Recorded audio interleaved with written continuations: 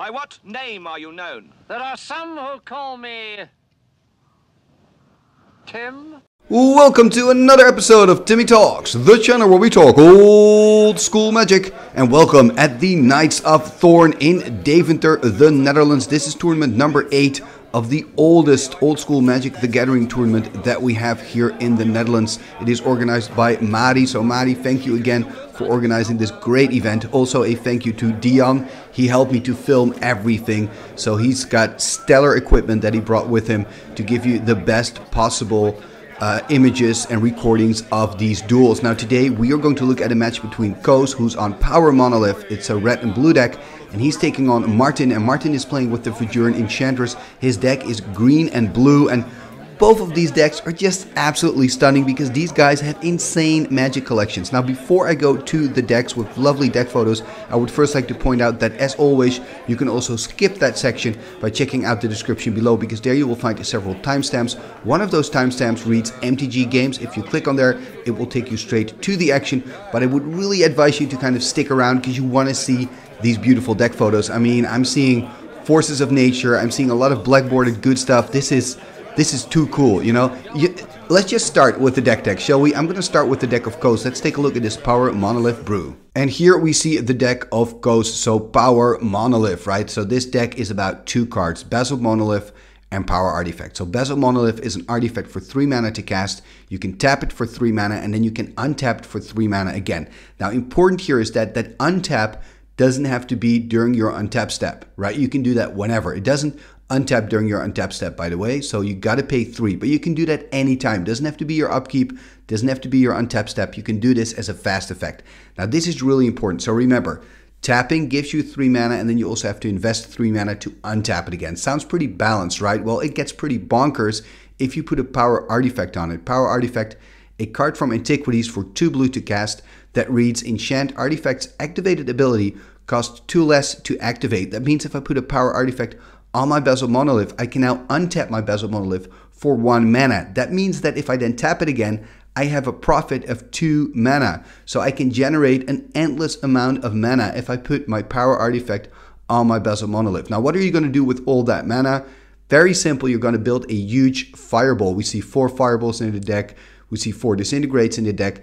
And basically every X spell gets a lot better with infinite mana, right? Like a lot, a lot better. A nice thing to note here is that he's also playing with a Brain Geyser. He can actually use his Power Monolith combo to uh, Brain Geyser his opponent to death. Now that would be pretty cool to see. So um, yeah, I mean this deck is is looking mighty strong, and I think it's going to be kind of tough for Marten to beat it with his Enchantress deck. But um, let's take a look at his list and see how strong his deck is. And here we see the deck of Marten and ah man, this deck, it is so cool. First off, it's all blackboarded good stuff. We've got tons of cool altars in this deck. But just what he wants to do is, is, is really cool as well. So he's playing for Verduran Enchantress, right? Four copies of the Enchantress in the deck. Now, Enchantress is a card, two green and one, a creature, human druid, and it reads, whenever you cast an enchantment spell, you may draw a card. So it makes sense if you play with this card, you're going to play with a lot of enchantments. So we see Wild Groves, we see Sylvan Library, we see Copy Artifacts, a lot of control magics. I feel kind of bad here for this matchup for Marten, especially before sideboarding, because those four control magics are going to be dead cards. Um, you know, the copy artifacts are going to be okay. I guess you've got, you know, your Basalt Monolith to copy, but they're not great. Of course, you can also target your own mana rocks to copy. That kind of works, especially in combination with those bigger creatures that Marten has in the deck as well, because look at that. He's playing two Mahamoti Djinns, two Force of Wills main. That is super cool. He's also playing with three clones. Clone and Verduran Enchantress also goes uh, together quite well, right? You can start cloning your enchantresses, and then for each enchantment you draw two cards. It gets out of hand kind of quick. I also love Sylvan Library and Verduran Enchantress together in a deck because with uh, Sylvan Library, of course, it is an enchantment, so you already draw a card, but also you can uh, manipulate what you're going to draw next, so you can choose to draw enchantments that will going to uh, even help you draw more cards, go through your deck faster. Personally, I think I would have added maybe some more Sylvan libraries in the deck, but then again, it's hard to make space. I also love the inclusion here of Ley Druid. Ley Druid is a nice combo piece together with Wild Growth. Well, nice synergy, I guess I should say.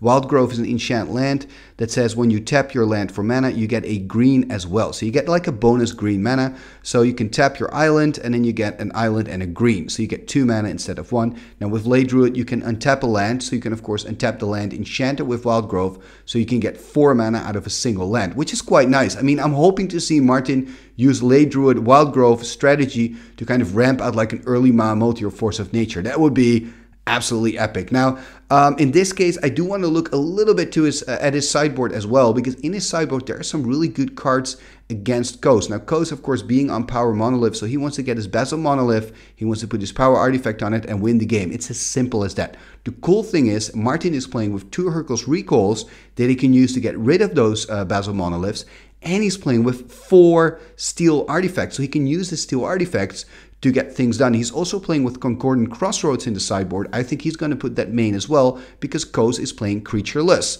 So, I mean, I, I do see, I think, pre sideboard, I think Koos is going to win, you know, or at least he's the favorite.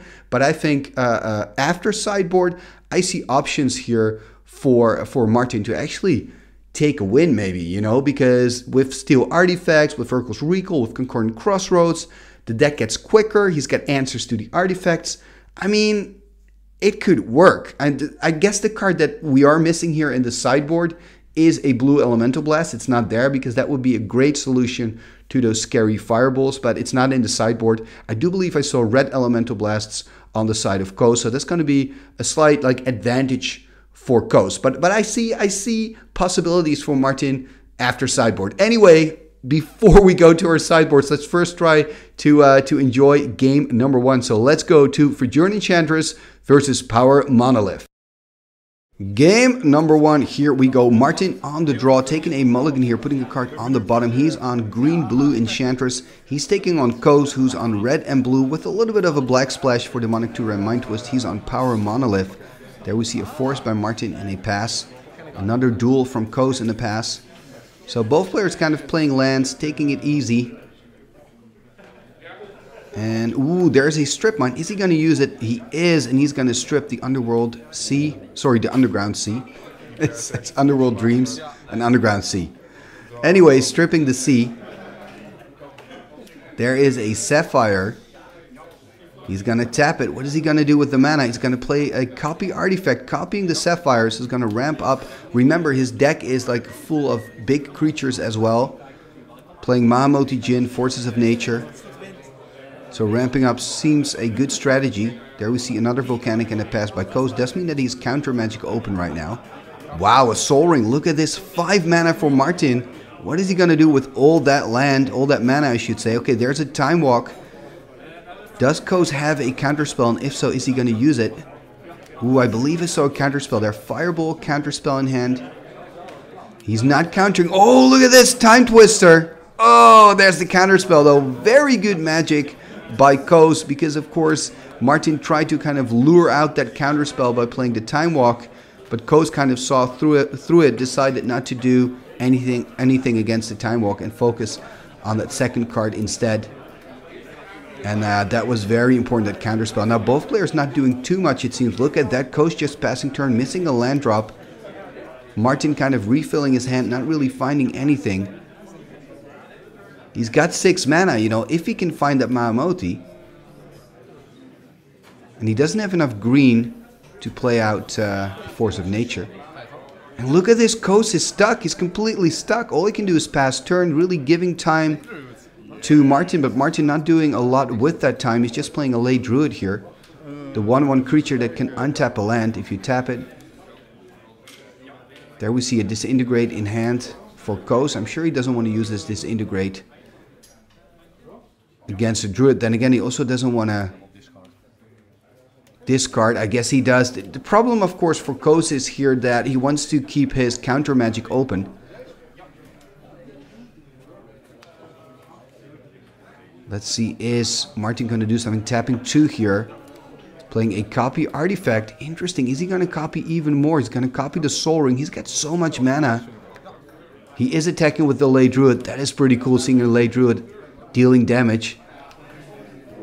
There we see a Basalt Monolith, and Kosic just stuck on land. I mean, he can't find any lands.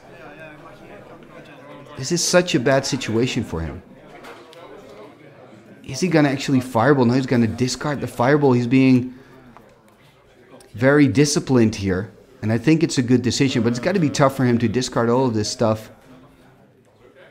But at least there's no pressure on the board. And Marten not really being able to cast anything back. Maybe he can do it now, tapping 5 here. There's a clone. There's a mana drain on the clone.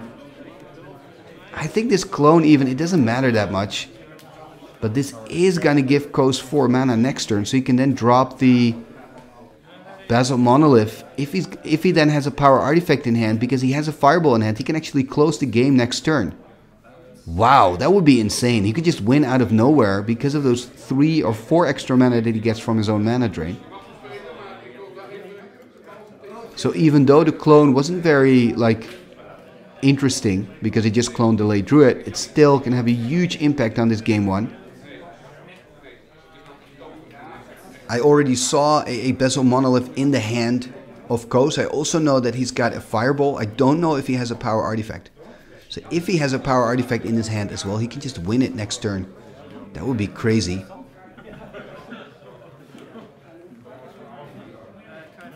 And Marten kind of stuck here passing the turn. Also for Marten, I mean, yes, he's got a lot of mana, but if you're not finding your other pieces, there's an island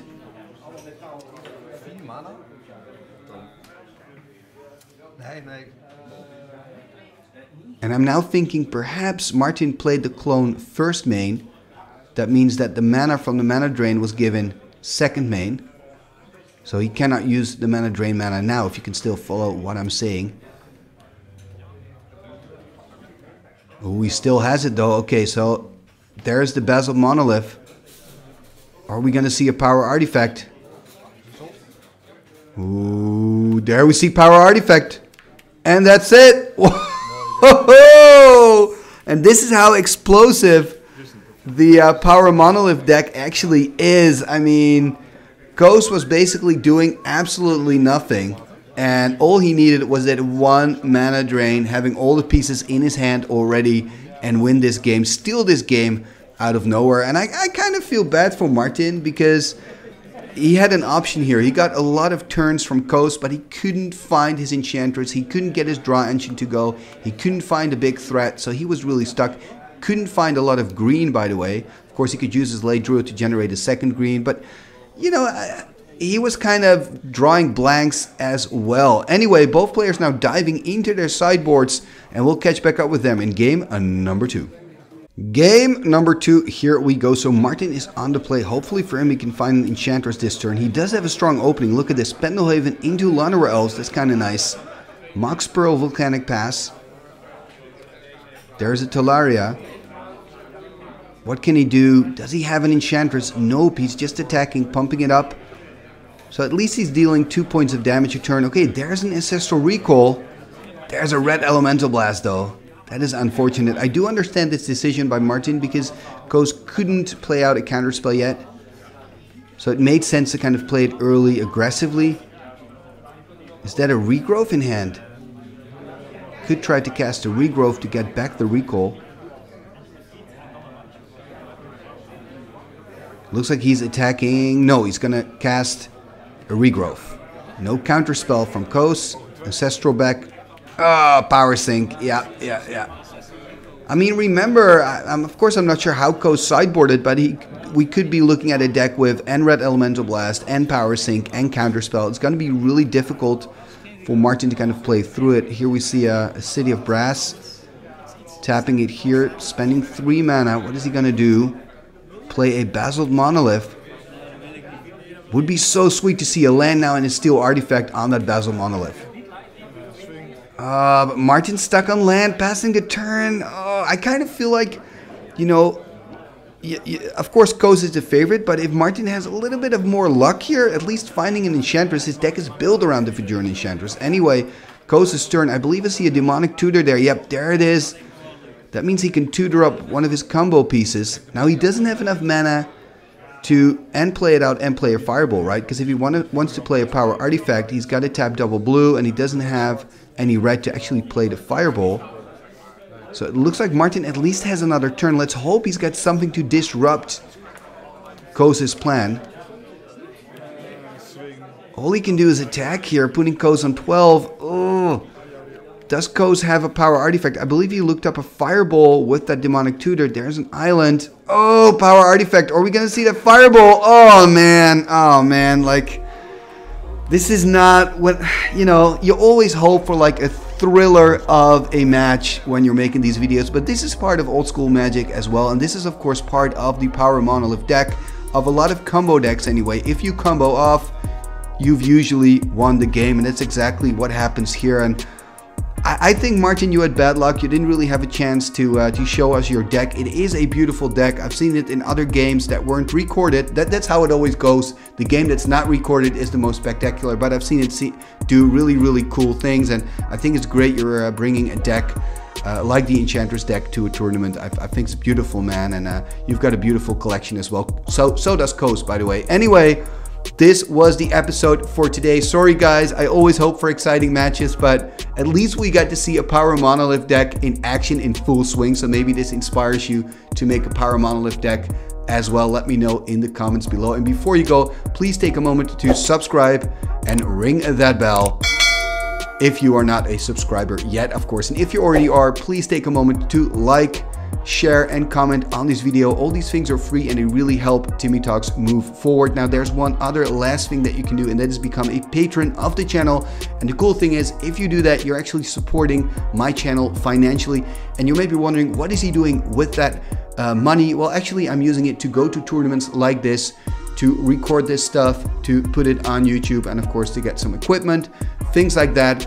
Um, the cool thing is if you become a patron of the show, you also get access to the Timmy Talks Discord server.